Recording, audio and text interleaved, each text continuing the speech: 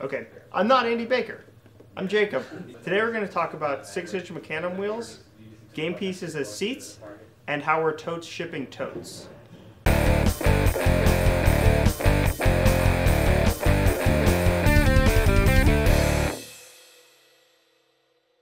So we have our 6-inch Mecanum upgrade kit for the AM14U2, which will be available for sale tomorrow.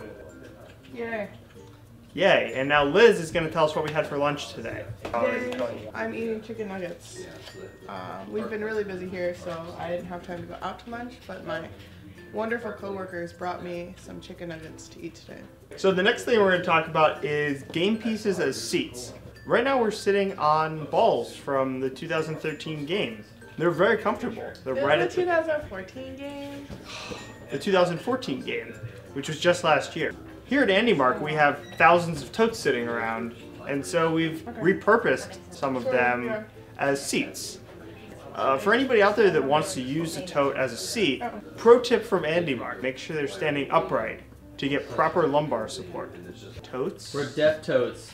We Shipping the totes. We're deaf totes shipping totes, is what Brett wants me to say. No goat included. Goats are still out of stock. We talked to the farmer this morning, and he says that um, he's not really sure when they're going to be in, but he hopes it's, you know, by about the middle of the year. Thanks for watching Lunch with Andy. Uh, this is your best way to get updates on everything that's going on here at AndyMark and uh, our products. Make sure to share with your friends and keep watching.